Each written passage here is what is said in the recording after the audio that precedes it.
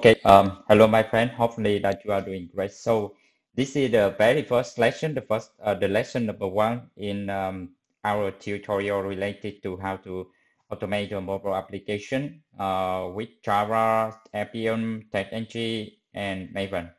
So this lesson, I want to focus on uh, sharing about the mobile automation test with Appium, but in a general architect, because uh, you know it's very important that you can understand the whole architect, uh, how your script interact with uh, components in the framework and so on. So when you understand the concept about the architect, it will help you to understand how to set up.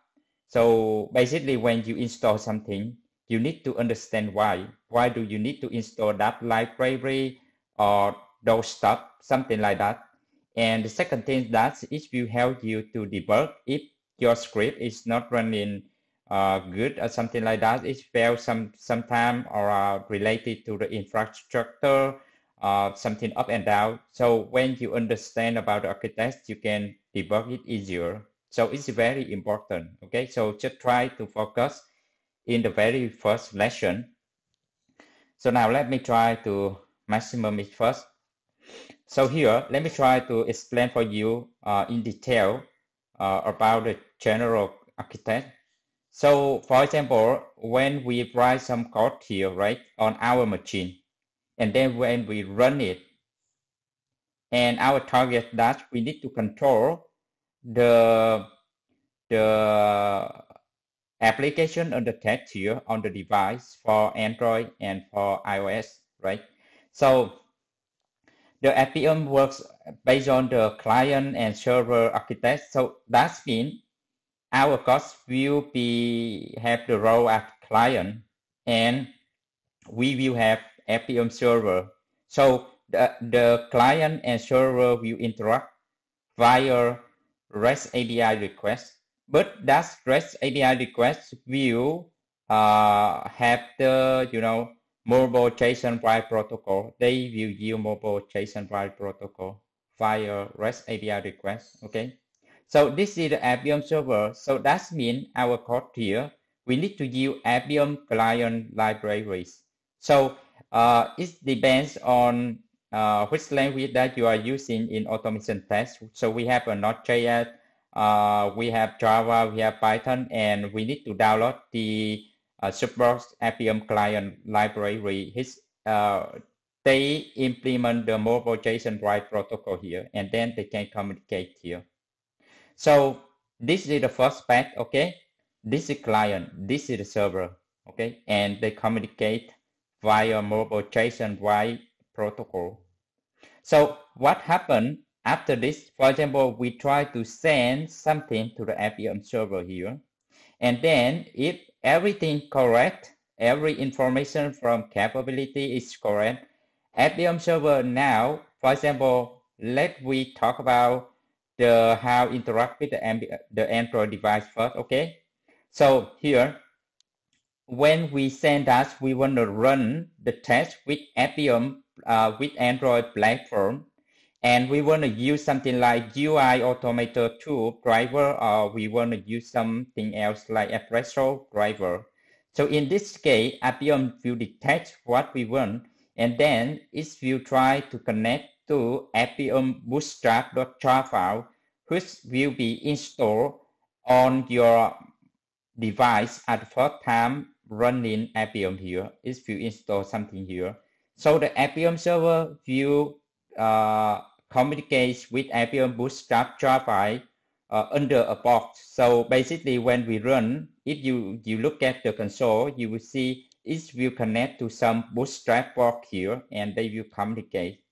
So now, Appium Bootstrap here as a client of this one, it's not it's not a client, but they will communicate with the uh, Appium here, and it will work as an interpreter and it will use UI Automator 2 framework or Espresso framework. So you can see here, Appium use the UI Automator 2 driver, and this one use the UI Automator, uh, Automator 2 framework or Espresso framework here to do what? To, to try now translate the request from here to something understandable under this framework and then you try to control the target application. So this is the whole picture, right? We send something to the server. If everything is correct, the Appium server will get the correct driver. That correct driver will learn and then communicate with Appium Bootstrap. Appium Bootstrap now using the correct framework and then try to translate the request here to something that's understandable to control the application. After it gets the response, after the command here, it gets the response, it will respond back to the Appium server. Appium server now will respond for our client here in the code, and then we can see the result here. Okay, so this is the first step for Android. So for uh, iOS, is a slightly different. So now you can see for iOS, we will use it's uh, XCUITest driver here. It's not like this, right? This will use another driver. And we have another thing here. You can see web driver agent. So sometimes they just write something like WDA here. So it is web driver agent. And this one is developed by uh, Facebook, as I remember correctly, if I re remember correctly. And this WebDriver agent will be on your device, our device, just like Appium Bootstrap on the Android here. But you will have it on the iOS device. You will see at the first time it launches. And this WebDriver agent will use the XCUITest framework to communicate with the target application under the test here. So the things happen here is very similar. So client sends something to the server if everything is correct on the capabilities, it will use the correct driver. In this case, it will be XCUITest driver, and then that one will communicate with WebDriver agent via a bot here. Okay, and then after the WebDriver agent try to interact with the target uh, application and it gets some response, it will respond back to the server and then server will respond back to our client. In this case, is the running code here. So this is the general architect. So here, when you install Appium server here, that means all of the uh, appropriate drivers will be shipped with Appium driver here, uh, Appium server here. If you all try to open the location where Appium is installed, you will see this driver in that location. So when we send something, uh, it depends on the platform that we want to test. It depends on the framework that we want to test. The Appium server will select the correct driver and then do the correct behaviors to interact with the target device. So we will communicate with the Appium server here via a port with the port is uh, 4723 and the bootstrap port is something like, you know, you can control it or you can have the dynamic here setting up with Appium driver. We have another port here, another port here, right? So at the time you want to run something like in parallel or something like that, we will talk more about how to have more Appium server here and we can use the Selenium grid as well. And in that lesson, I will tell in more detail how to construct something like that.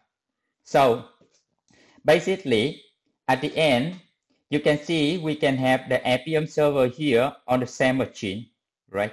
We have the client code here. We can install the Appium server here, and then we can plug the device that we want to test here. So in the context that we just have only one machine here, we can install all of these things in just only one machine here.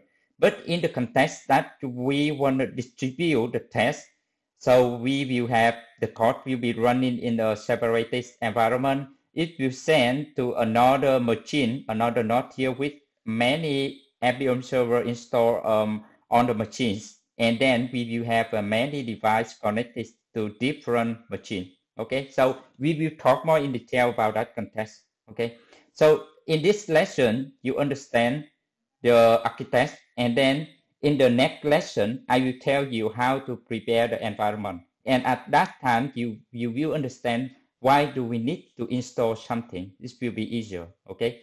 So bye for now and see you in the next lesson. We will try to, you know, prepare the environment and everything uh, to have the first script running. Okay, bye for now.